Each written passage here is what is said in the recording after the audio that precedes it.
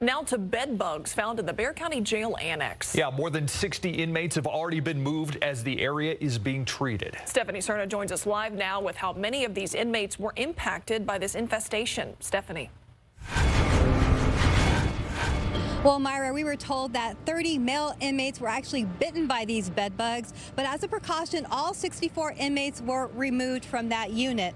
Now, the medical staff was notified about the problem at about 1230 yesterday afternoon. Bexar County officials say the inmates were moved from the annex to the South Tower, which is a new building, while the unit is being treated.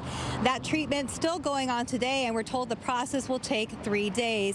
The mattresses and linens were left in the unit and were treated by the contract pest control vendor and were sealed in bags and discarded. The clothing there was washed. Now, the final cost to treat the unit will be determined when everything is completed.